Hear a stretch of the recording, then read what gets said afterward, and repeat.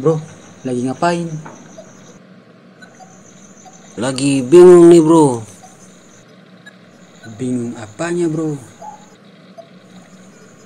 Begini bro, saya mau menyimpan dokumen penting saya nih. Tapi saya tidak tahu caranya agar tidak dapat dilihat oleh orang lain. Wah, kebetulan nih. Saya baru lihat di Pamedas Channel. Soalnya di situ banyak sekali informasi dan tutorial yang sangat bermanfaat. Bro, tinggal ketik saja cara menyimpan file di PC atau laptop dengan menggunakan password. Oke bro. Selamat datang di Pamedas Channel.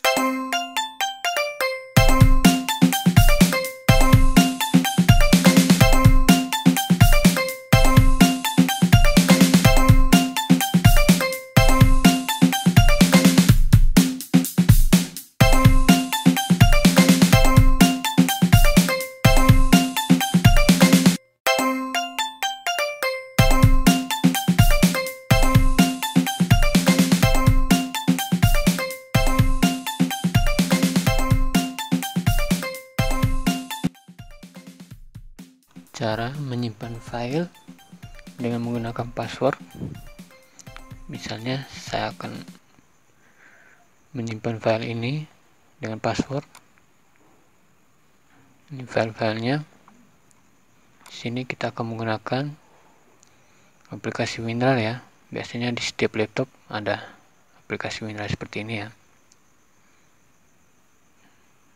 Nah ini biasanya laptop sudah ada dan jika ada laptop yang tidak ada maka tidak akan tampil seperti ini ya. Ada beberapa laptop juga yang tidak akan tampil windarnya jadi kita mesti harus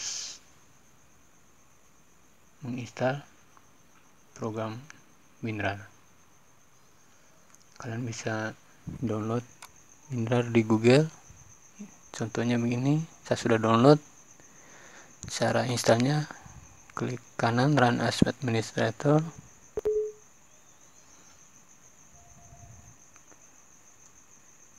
Lalu kita pilih install.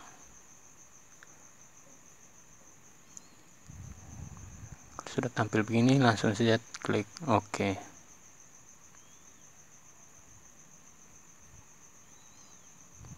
Lalu down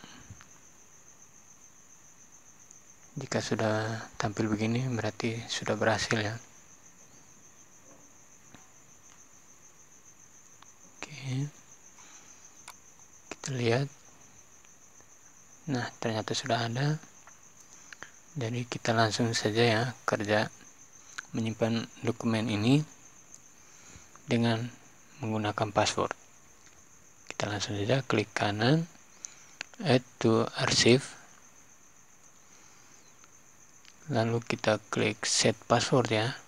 Di bagian kanan bawah klik set password. Kita bisa masukkan passwordnya sesuai dengan keinginan kita sendiri ya.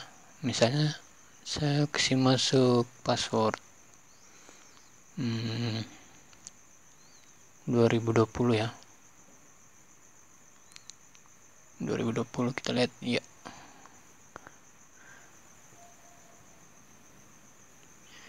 langsung saja klik OK.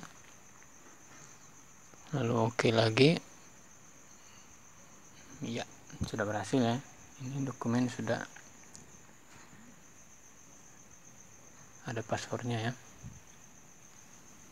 Yang asli kita bisa menghapusnya.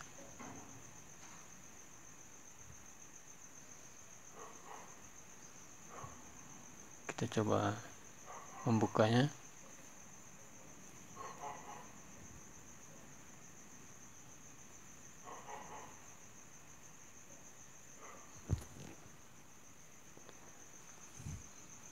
jadi ini kita buka sudah disuruh masukkan password ya.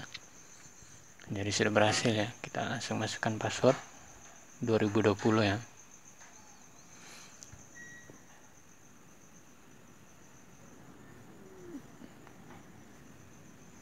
Jadi sudah berhasil ya kita sudah berhasil menyimpan dokumen dengan menggunakan password. Jadi ini bukan hanya dapat digunakan untuk menyimpan file berupa dokumen tapi juga bisa berupa foto musik video audio semuanya bisa disimpan dengan menggunakan password dengan menggunakan WinRAR ya. Jadi semua file apa saja bisa disimpan seperti ini ya nah jika kita ingin membukanya kembali seperti biasa kita tinggal klik extract here. Lalu masukkan password. 2020 ya. Klik OK. Nah dia akan kembali seperti semula lagi dan tidak perlu menggunakan password. Bisa langsung dibuka